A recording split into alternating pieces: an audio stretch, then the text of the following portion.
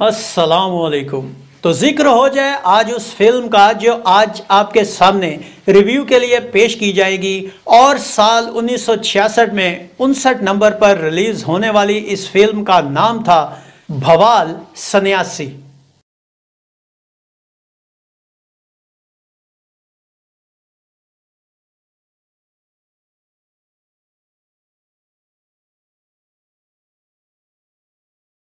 जाने बहार पिक्चर्स के बैनर तले तैयार और रिलीज़ शुदा इस फ़िल्म के सरमायाकार बेबी इस्लाम थे, जिसकी हिदायतकारी रौनक चौधरी ने की। फ़िल्म की कहानी नसीमा यास्मीन ने लिखी। कैमरामैन अफजल चौधरी थे। बंगाली ज़ुबान की यह फ़िल्म मशरकी पाकिस्तान के ढाका फ़िल्म कॉरपोरेशन में तैयार की गई। अदाकारों के बारे में बताने से पहले मैं आपसे कहना चाहूँगा कि अगर आप हमारे चैनल पर नए हैं तो इसे सब्सक्राइब कीजिए और बेल आइकॉन को दबाने के साथ साथ ऑल के बटन पर ज़रूर क्लिक कीजिए, ताकि हमारा आने वाला हर नया वीडियो आप तक पहले पहुँचे। इस फ़िल्म में कौन कौन से अदाकार शामिल थे, आइए देखें।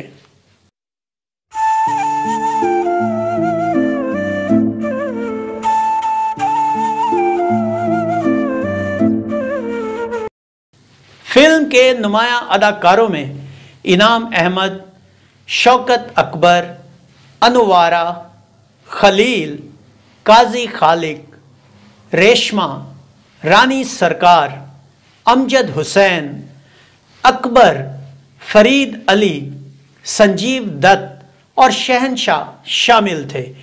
इस फ़िल्म की मौसीकी में कौन कौन से नाम शामिल थे और किस गुलकार ने कितने गाने गाए? आइए देखें।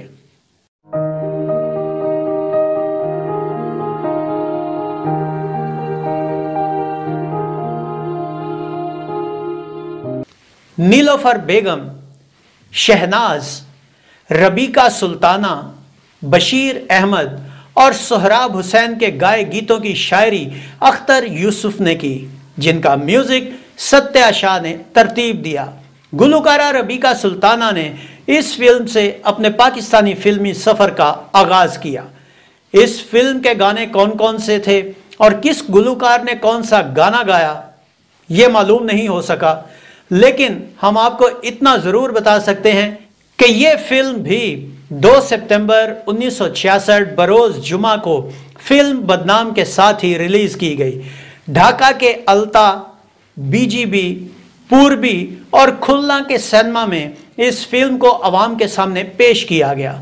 ये फ़िल्म तारीखी एतबार से एक बायोग्राफिक और ड्रामा टाइप फ़िल्म थी। इस वजह से इसे वो पजीराई हासिल ना हो सकी और यूँ यह फ़िल्म कोई ख़ास कारकर्दगी ना दिखा सकी। बंगाली ज़ुबान में होने की वजह से इसे कराची के लैरिक सिनेमा और इसके साथ साथ सुपर टॉकीज में भी नुमाइश के लिए पेश किया गया। लेकिन कराची में उस वक्त मुकीम मशरकी पाकिस्तान के रहने वाले बहन भाइयों को भी ये फ़िल्म कोई ख़ास मुतासर ना कर सकी।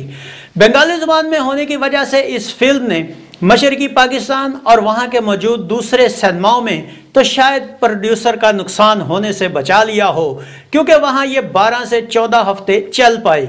लेकिन मगरबी पाकिस्तान, यानी मौजूदा पाकिस्तान में यह फ़िल्म चार हफ़्ते से ज़्यादा का बिज़नेस ना कर पाई। और यूँ सुपर हिट हिट या किसी भी तरह औसत दर्जा में शामिल हुए बगैर माजी के अंधेरों में गुम हो गई। और पाकिस्तानी फिल्मी सनत में शामिल होकर फिल्मी तारीख का एक खूबसूरत हिस्सा बन गई। और एक याद के तौर पर महफूज हो गई। जिसका ज़िक्र हमेशा पाकिस्तान की फ़िल्म हिस्ट्री में किया जाएगा। और मुस्तबिल में जब भी लोग क्रिसेंट हिस्ट्री को देखेंगे, या हमारे मशरकी पाकिस्तान, यानी मौजूदा बांग्लादेश के बहन और भाई और आने वाली नस्ल हमारे चैनल पे आएगी तो उन्हें इस फ़िल्म की हसीन यादें, ज़्यादा ना सही, कुछ बुनियादी मालूम के साथ ज़रूर मिलेंगी। और उन्हें भी ये अंदाज़ा होगा कि हम उनसे अभी भी उतना ही प्यार करते हैं जितना बांग्लादेश बनने से पहले किया करते थे। सरहदें बन गई, नाम अलग हो गए, लेकिन मोहब्बतें लेकिन मोहब्बतें कम ना होंगी और ना ही उन्हें कोई कम कर सकेगा। लव यू मशरकी पाकिस्तान लव यू बांग्लादेश, और लव यू बंगाली बहन भाइयों के लिए।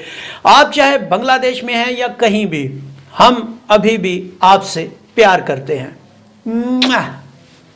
तो ये था फ़िल्म भवाल सन्यासी का एक मुख्तसर रिव्यू जहाँ से जो मिला, जितना मिला, आपकी खिदमत में पेश किया। उम्मीद है आपको हमारा ये वीडियो पसंद आया होगा। वीडियो पसंद आया हो तो इसे लाइक कीजिए कमेंट्स बॉक्स में अपनी राय का इजहार कीजिए और साथ ही साथ गुलफाम को इजाज़त दीजिए। अगले वीडियो में एक नई फ़िल्म के रिव्यू के साथ आपके सामने दोबारा हाजिर होंगे। अपना बहुत सा ख्याल रखिएगा। अल्लाह आपका हामियों नासिर हो। अल्लाह हाफिज़।